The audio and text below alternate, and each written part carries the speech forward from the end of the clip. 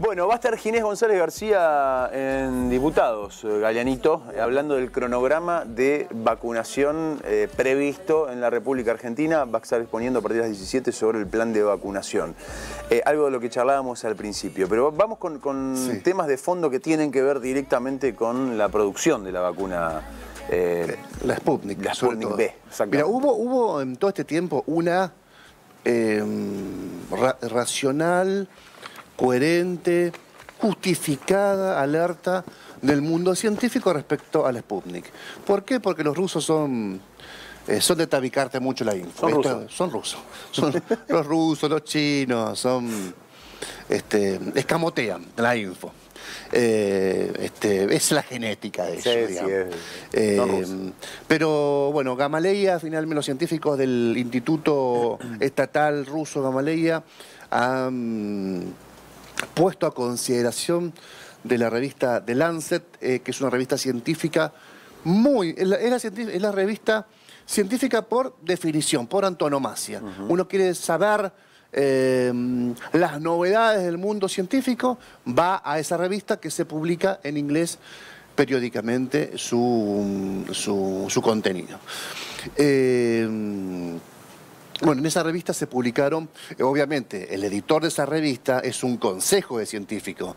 No es que vos le llevas un paper y le decís, mirá, yo vengo de Gamaleya, publicame esto de onda, acá hicimos, agarramos cuatro viejitos, dos adolescentes y, nos dio este resultado. Eso no existe, no existe eso, no existe, no funciona así, son súper celosos de la información. De hecho, varias veces Gamaleya habrá querido, eh, no digo con este temperamento, pero con la idea de que su vacuna tenga una publicidad mundial más interesante, habrá querido hacer esto en otra oportunidad. Eh, finalmente presentó un estudio de casi 20.000 personas en fase 3. Creo que el 70% es se le aplicó la vacuna y el restante porcentaje el placebo. Eh, con un resultado del 91, casi del 92%, un poquito más del 91% de efectividad, eh, si tienen en cuenta todas las franjas etarias de niños, adolescentes, eh, adultos, adultos mayores y ancianos, incluso de, a los ancianos entre, hasta 84 años, Juani, fue la aplicación de la vacuna propiamente dicha y hasta 87 el placebo. Estos resultados fueron muy, muy, muy buenos, muy auspiciosos em, y fueron publicados, como decíamos, en esta, en esta revista. Em, esta eh, esta información fue cedida por el Centro Nacional de Investigación de Epidemiología y Microbiología Gamaleya del Ministerio de Salud de la Federación Rusa eh, y del Fondo Ruso de Inversión Directa, en donde se confirma la alta eficacia y seguridad de la, de la vacuna. Una vacuna que además está aplicándose en Bolivia, una vacuna que por supuesto se aplicó ya en, sus eh, doble dosis en Rusia y que, por ejemplo, Putin no sé si se le aplicó todavía. ¿Alguien sabe? Porque había toda esa dificultad, de esa, esa expectativa, de esa duda de los mayores de 60, pero ya fue aprobado. no, no, sí, ya se la ANMAT la aprobó y no sabemos qué pasó con, con Rusia, pero la Putin tiene anticuerpo de todo, super Putin. Em, es un Putin sacó eh, una, ¿viste las imágenes de de, Putin en Zunga? No. ¿No? Bueno, recorrió el mundo entero. Eh, está en Siberia, en Zunga. porque le gusta mucho la, cámara, ¿no? Sí, sí, sí, sí. es un... La exposición. Personaje complicado. No, sí, este, sí, eh, Oliver Stone lo ha entrevistado eh, para su documental sobre grandes personalidades mundiales y este, y Putin responde cosas feas. No, no, responde cosas de si hay dos chicos besándose en la calle que van a Canadá, hay que meterlos presos. Complicado, Putin. No, no, no, pero bueno, este, esa es la, su, personalidad. Eh, en definitiva, esto es lo. Mm, no, no quiero abundar en datos técnicos porque. Este, porque no, no viene el caso, pero mm, la Sputnik está eh, a la par de las grandes vacunas anunciadas por los grandes laboratorios, AstraZeneca, de Johnson Johnson, de Moderna, de mm, Pfizer, eh, de BioNTech, bueno, una, multiplicidad de laboratorios que ya están cerrando además acuerdos con eh, el, Centro Científico Gamaleya para intercambiarse información sobre, sobre, sobre la vacuna. Eh, así que picó en punta Rusia en este sentido.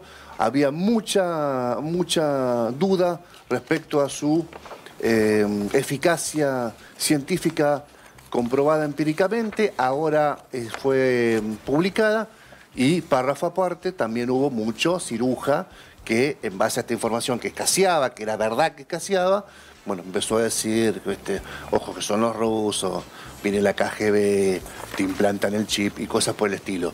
Y para el desprevenido que nos está escuchando al otro lado dice, ¿qué dice este sonso? Todo esto se dijo de verdad, entre comillas, por parte de la, de la boca de muchos dirigentes de la oposición en Argentina. No es que estamos este, haciéndonos los locos ahora y hablando, y hablando metafóricamente, irónicamente. Esto se dijo, se dijo en un momento muy complicado de la pandemia en Argentina y por suerte estas dudas se van, se van despejando.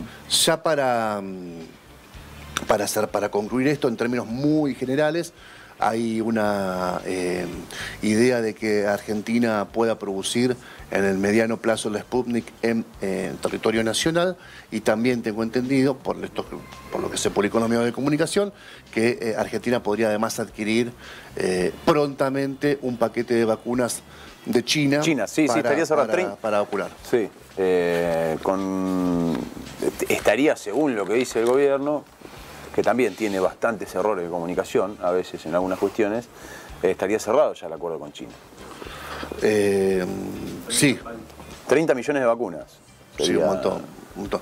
Vos sabés que cuando vos estabas de vacaciones, todo tiene que ver con todo, eh, tomamos contacto con un gerontólogo, porque recién había sido aprobada por la ANMAT la, la vacunación para mayores de 60. Hablamos con un gerontólogo del Hospital Italiano de Buenos Aires que nos decía eh, qué pena que los dichos de Laura Bisotti, la segunda de Ginés, respecto a eh, vacunar solamente con la primera dosis de Sputnik, este, fue relativizado, se la, se la ninguneó, este, bueno, se le, tiró con todo. Dice, porque, em, porque no se exploró y no se profundizó porque hubiese tenido un efecto importante en la población. La Sputnik representa dos aplicaciones. Tenés la, vacuna A y la vacuna B. ¿no? La B es el complemento de, la A. Eh, pero la, em, la, vacunación con la dosis A eh, tiene un efecto, eh, una eficacia no del 91,6 en promedio, sino de un 70. Similar a la que tienen las de la gripe, por ejemplo. Exacto. Entonces, ¿qué decía este, qué decía este, este, este médico?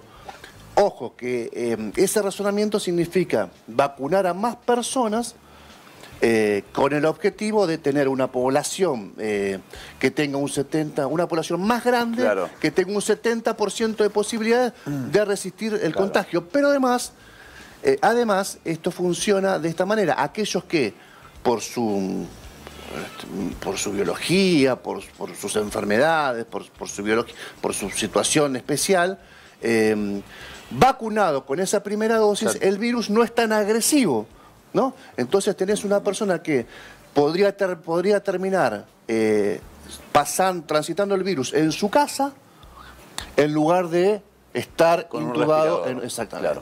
Claro, Exactamente. Eh, es la eficacia del 70% aproximadamente, Que, se supone eh, tiene de inmunidad la primera dosis de la vacuna es la misma que tienen todas las vacunas para la gripe, la gripe común. Claro, sí. Que se aplica en el cronograma de vacunación general, digamos. Ese es el, número. Pero es interesante esto que, vos marcás, eh, sobre todo por, cómo también se dio la situación de no ponerlo eh, a consideración profunda y real eh, a esta posibilidad, ¿no? Eh, se lo dijo, le tiraron con de todo, el gobierno flojo, muy flojo, dio marcha atrás, no pudo explicar, no se supo si, si fue realmente una idea eh, avanzada eh, por parte del gobierno nacional concreta o si no. Terminó todo en la nebulosa, lamentablemente. Una mujer que fue enviada a Rusia, a Gamaleya, para eh, conocer la vacuna de, cerca, especialista en microbiología. Además, lo aclaró el médico gerontólogo con el que hablamos este, en, aquella en aquella oportunidad. Lamentablemente se la depredó, se la depredó por haber dicho lo que dijo, la depredó puertas adentro la propia gestión. Como vos indicás, esto fue así, no se le dio una segunda oportunidad ni siquiera para explicar por qué. La dejaron en offside. La dejaron en offside. Totalmente, totalmente. Eh, bueno, vamos a ver eh, cuándo llegan los 30 millones de vacunas del Chile. ¿Eh? No sé. Bueno, a ver, a ver si dice algo Ginés en, diputados acerca de esto.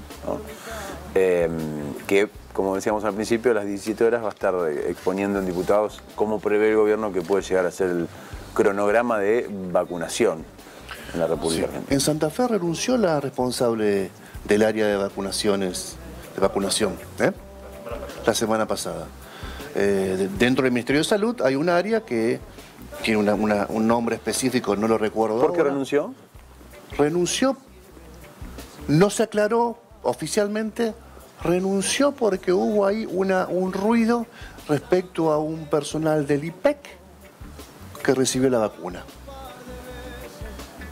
En Santa Fe hubo un personal del IPEC sí el Instituto Provincial de Estadísticas y Censos que fue vacunado con la Sputnik, cuando no estaban en, la, en el universo de personas que debían ser consideradas prioridad para esa vacunación, que eran los médicos claro. De la trinchera. Médicos, médicos en principio. Bueno, provincia de Buenos Aires también. El, caso de... Renunció también la, funcionaria. Dos, concejales renunciaron. que ¿eh? se, se, vacunaron, aparecieron en la lista de esenciales. ¿no? concejalas en este caso. sí, son esas cosas.